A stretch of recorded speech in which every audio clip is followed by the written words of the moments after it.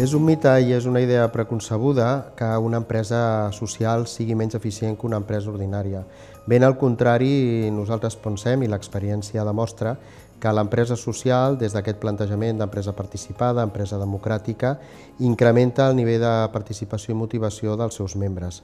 D'aquesta manera, treballadors, treballadores, professionals, socis d'aquestes empreses, amb aquesta, amb aquesta propietat col·lectiva, eh, incrementen eh, aquests nivells de participació i implicació i això té implicació directa sobre els resultats. Uh, és important en aquest cas ressaltar el caràcter de lideratge col·lectiu.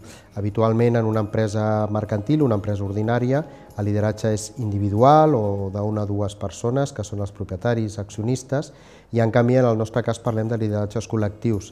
El lideratge col·lectiu, corresponsabilitat, compartit, riscos, eh, alegries compartides, li garanteix a l'empresa un, un caràcter singular i aquesta seria una de les forces d'aquest tipus d'empreses.